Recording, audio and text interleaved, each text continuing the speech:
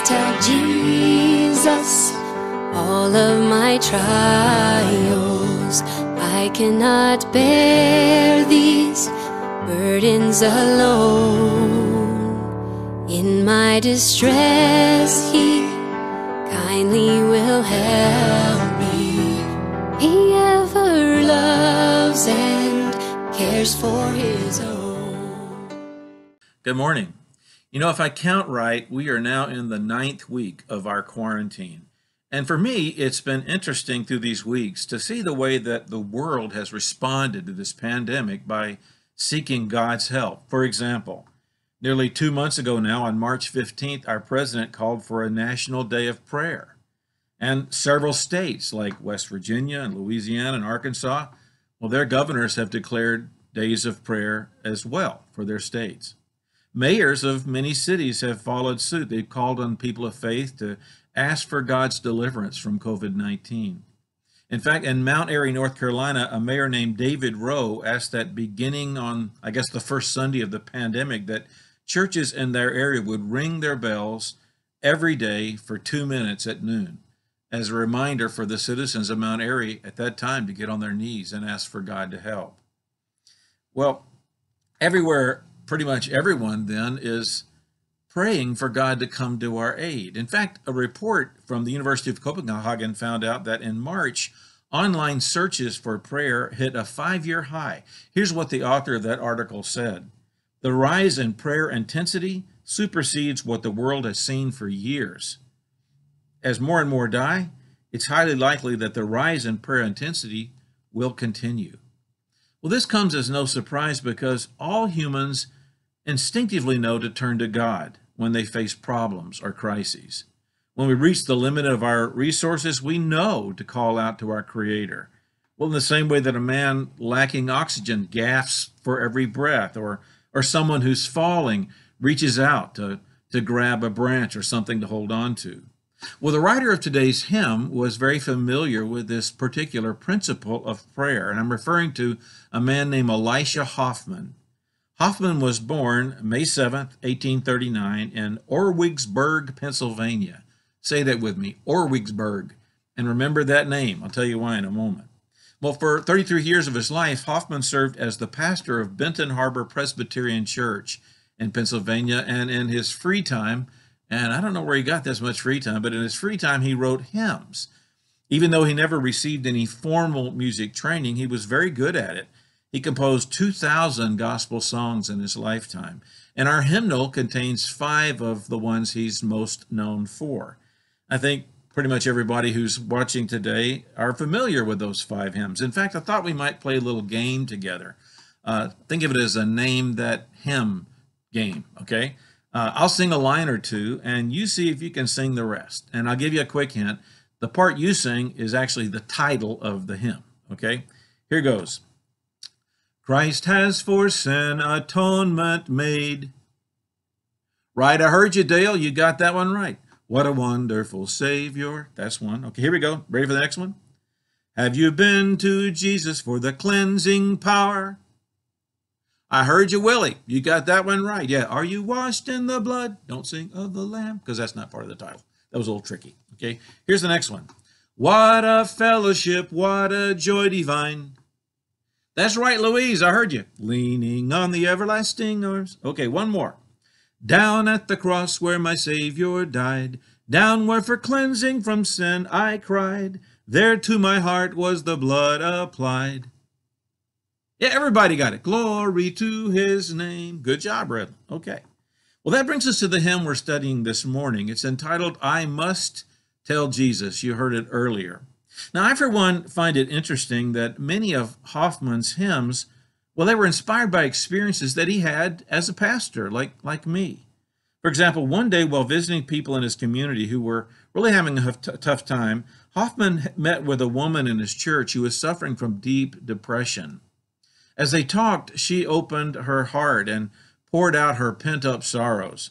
Wringing her hands, she cried, What shall I do? Oh, what shall I do? Hoffman knew what she should do because he'd gone through times of deep depression himself, like when his wife of only 11 years died suddenly. So he empathetically said to the woman, You cannot do better than to take all your sorrows to Jesus. So that's what you must do. You must tell Jesus. Well, for a moment, the woman seemed lost in her thoughts. Then suddenly her face lit up and she said, Yes, I must tell Jesus. Well, that sentence stuck in, in Hoffman's mind. And when he got home that night, he began to write the lyrics to that great hymn. Sing them with me. I must tell Jesus, I must tell Jesus, I cannot bear my burdens alone. I must tell Jesus, I must tell Jesus, Jesus can help me, Jesus alone. Well, he composed the music to this hymn as well. And if any of you have one of our hymnals, I'm not saying you stole it, you might just have brought it home by accident, you know, but if you have one, Open to page 430, that's where it is, and look in the bottom corner and you can see the word Orwigsburg. So you see he named the tune after the town where, where, where he was, was born. You may remember that um, Pastor Bill told us a few months ago, I think it was at a hymn sing or something at church, that hymns have a title for the words and a title for the, the music as well. And this is a good example of that. Now, the question I want us to deal with this morning is um, why do we need to go to God in times of crisis? Or as Hoffman puts it in his hymn, why must we tell Jesus? I can think of a couple reasons. First, we must tell Jesus because he can help us. The fact is, when you and I need help with something, we go to people who have the resources and the power to help, the people who can really help. I mean, you don't call a toddler when you hear a burglar breaking in downstairs in the middle of the night. You you call the police. When your car is stuck in the mud, you don't tie a rope to your bumper and the other side to a, a bicycle and have a guy try to pull you out while he bicycles. No, you call a tow truck. When you need surgery, you, you, you don't go to someone who has a degree in English literature. No. When you need help, you go to people you know have the wisdom and the power to help. So, as Hoffman put it, we must pray when we have tough times. We must tell Jesus when we face the nightmares of life because we know that he has the resources. Only He has the resources that we need in times like that. Only God has the wisdom to know what to do, and only He has the power to do what needs doing. I want you to think about the worst problem you've ever had or are having, and maybe that's this pandemic. Or imagine the worst problem you could have in the future. Make a make it a big imagination, okay? Listen, our mountainous nightmarish problems are less than anthills to God because he is truly almighty. Psalm 89 9 says, O Lord God Almighty, who is like you? You are mighty, O Lord, and your faithfulness surrounds you. So it makes sense. We, we must go to God because we know only He can help us. Only He is all knowing. Only He is almighty. That leads to the other reason we must go to our Lord in the tough times of life. I mean, not only can He help us, He will help us. And do you know why Almighty God will help us? Why our Lord answers our prayers? He does so because He loves us. I don't know why sometimes, but He does. The Bible is literally full of verses that talk about God's great love for you and me, but some of my favorite come from the 103rd Psalm. In verse 8, for example, it says, God is abounding in love for you and me. In verse 17, it says, From everlasting to everlasting, the Lord's love is with those who fear him. In verse 11, it says, As high as the heavens are above the earth, so great is his love for you and me. In verses like these, King David, who, let's, let's admit, he was kind of an unlovely guy at times, well, David is saying that God loves us with an unbelievably love, an unconditional love, uh, uh, while we were yet sinners caliber of love. Our Lord, He cares about our fears. He cares about our struggles. Now, what word picture, excuse me, what word picture would, would you use to describe that kind of love? Well, Jesus has given us the very perfect one. He said that God loves us like a father, like an Abba or a daddy. You know, speaking of fathers, one morning back in 1988, in the nation of Ar- Armenia, two proud parents, a father named Samuel and a mother named Danielle, they sent their young son Armand off to school. Before he left, Samuel squatted down before his little boy, looked him in the eye, and said, Have a good day at school, Armand.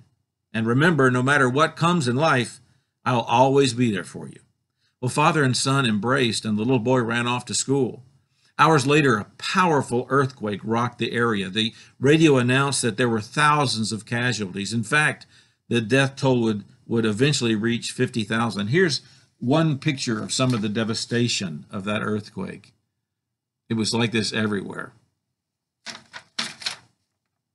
Well, Samuel and Danielle huddled around the radio for a few minutes, hoping to hear news about the area where their son's school was located, but in the midst of the pandemonium, they could get no information. So Samuel grabbed his coat and headed for the schoolyard.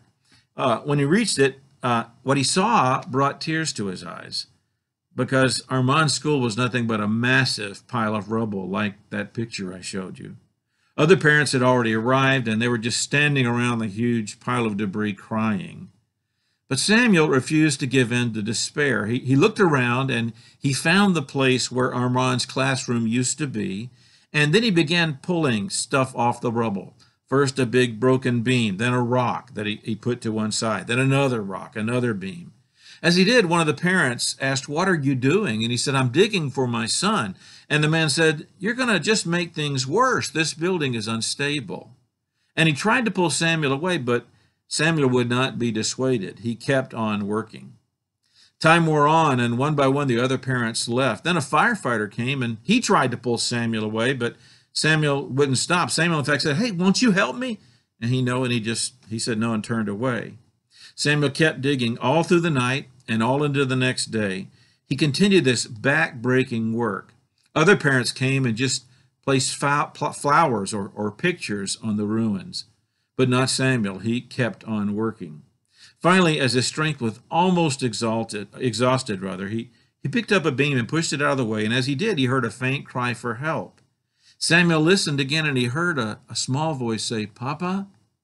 Well, this understandably gave Samuel new strength, and he, he renewed his efforts, digging furiously, and finally, a few minutes later, he removed enough debris to see Armand crouched in a small crawl space with several other children. Come on out, son, he said with amazing relief, of course. No, Armand said, let the other kids come out first because I know you'll get me. Well, child after child emerged until finally little Armand appeared, and Samuel took his arms and Armand took Armand in his arms, and Armand said, Papa, I told the other kids not to worry because you told me that you'd always be here for me. Well, 14 children were saved that day because of this father's persistent love. Nothing stopped that dad, not even a mountain of debris. Well, to an infinitely greater degree, that's the kind of love God has for us.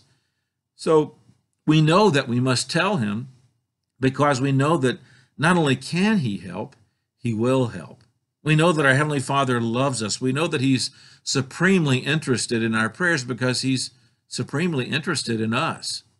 I'm reminded of Jesus' words from Matthew 7, where He said, Which of you, if his son asks for bread, we'll give him a stone, or if he asks for a fish, we'll give him a snake. If you then, though you are evil, know how to give good gifts to your children, how much more will your Father in heaven give good gifts to those who ask him? Does this pandemic cause you fear? I understand how it should. Well, then there's one thing that you must do, we must do. We must go to Jesus. We must tell our Lord. You know, tomorrow is the National Day of Prayer that comes around this time every year. Let's take that day to join with Christians across our nation and pray, asking God to heal us from this virus in a way that brings Him glory. Let's begin now. Would you pray with me? Father God, thank you for your servant Elisha Hoffman and for the great principle of prayer that you have used him to teach us through this, this music. We praise you, Father, for your power. We praise you for your knowledge. We praise you for your, your grace filled love. Most of all, Father, that we praise you this morning for inviting us into your presence always through Jesus' sacrifice on the cross. And we pray this in Jesus' name. Amen. I must tell Jesus, I must tell Jesus, Jesus can